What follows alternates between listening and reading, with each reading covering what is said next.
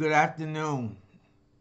I want to share with you today from the 18th chapter of the Gospel according to Luke, verses 10 through 14.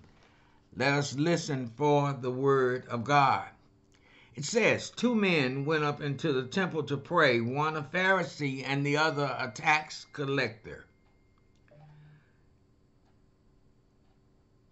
The Pharisee stood and was praying this to himself God, I thank you that I'm not like others, people, swindlers, unjust, adulterers, and even like this tax collector. I fast twice a week. I pay tithes of all that I get. But the tax collector, standing some distance away, was even unwilling to lift up his eyes to heaven, but was beating his breast, saying, God be merciful to me, the sinner. I tell you, this man went to this house justified rather than the other. For everyone who exalts himself will be humbled, but he who humbles himself will be exalted. Let's look at this text and try to see what God is seeking to communicate to us today. If you will notice, at the beginning of the text, it talks about two men who went up into the temple to pray. And it says that the Pharisee uh, was the one who stood up and was praying this to himself God, I thank you that I'm not like everybody else. That's basically what he's saying. I thank you, God, that I'm not like everybody else. I'm not a sinner. At least I try not to sin. I pay my tithes.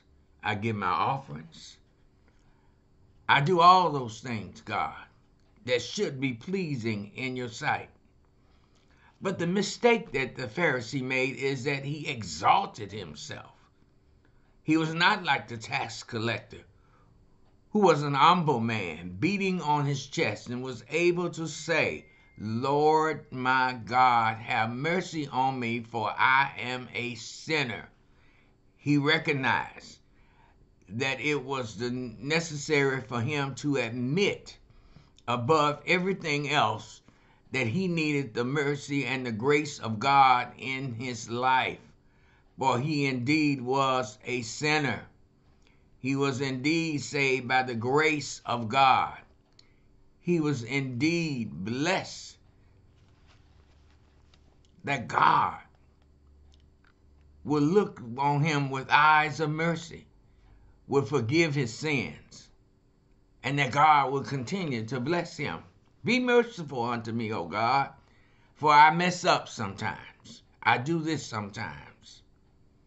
But I'm acknowledging as I stand before your presence, as humble as I know how to be, that I am thankful for your grace and your mercy. And just for a subject, I'd like to use this thought staying plugged in to the power source. Sometimes it's necessary, those of us who are walking on this Christian journey, to recognize our need and our dependence on God there's a song that my grandfather taught me some years ago where he said, the words said, I am so grateful that I have a Christ in my life. What would my life be without him? It would be weary, worn, and sad. That's why I'm grateful, truly, truly grateful that I have Christ in my life. And so, the first place we need to start, my brothers and sisters, we need to recognize our need to be grateful and show gratitude to God for all that God has done for us. Yes, this has been a year, and I'm ever mindful of how God has continued to protect us, how God has continued to allow His grace and mercy to cover us so that we've been protected from the coronavirus. I'm also reminded of the need to not only be grateful for I think about John 3:16 where God said the word says, God so loved the world that he gave his only begotten Son, that whosoever should believe in him shall not perish, but they shall have everlasting life. Being grateful. How many of you out there today are grateful? Grateful, appreciative, humbled by the fact that God always shows us and showers us with his mercy and his grace. And so, my brothers and sisters, in a simple thing, we need to always be plugged into the source. And one way to be plugged in is to recognize the need we have for gratitude.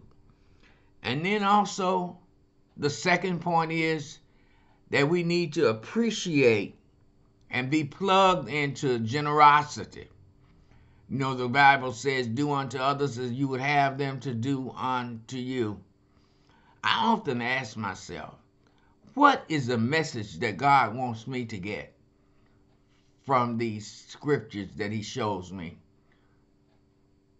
He wants me to remember that I need to be generous, generous that I need to do as the scriptures say, bring you all of your tithes into the storehouse and test me and try me and see if I will not open up the windows of heaven and pour you out a blessing that you shall not have room to receive.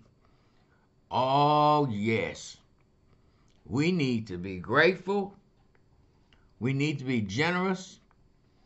And we need to remember that without God, we are nothing, we can do nothing.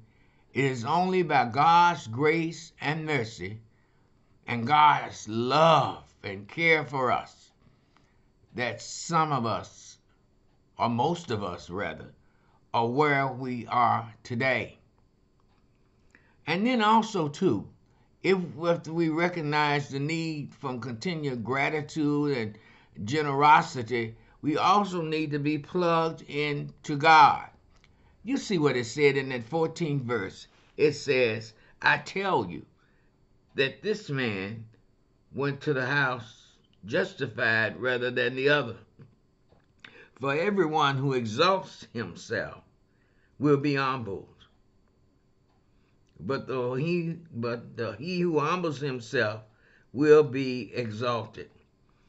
I tell you, this man went to the house justified rather than the other. For everyone who exalts himself will be humbled, but he who humbles himself will be exalted. God will show us his grace and mercy. Now, the danger also in this text is, is it says that the, the Pharisee actually thought God operated on a merit system. a merit system. And thus he could put in in man's debt through good works. The tax collector knew God was merciful and was worthy of trust. The tax collector knew that God was merciful and full and worthy of him trusting him. Maybe the tax collector had been through some things.